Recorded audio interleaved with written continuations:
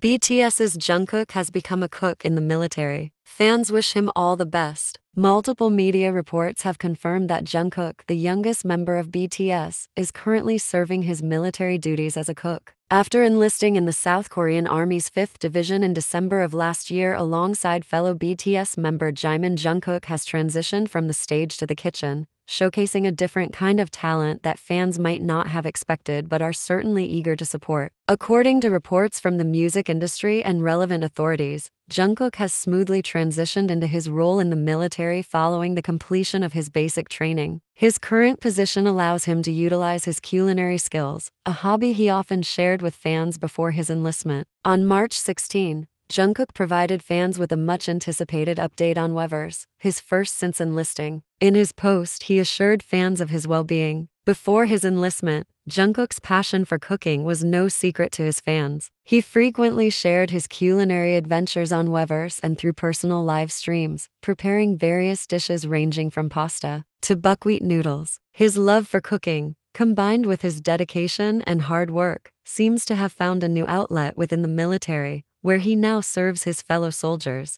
As BTS members gradually fulfill their mandatory military service, their diverse talents and the ways they continue to connect with fans highlight the group's enduring impact both on and off the stage. Fans around the world continue to show unwavering support for them as they eagerly await more updates.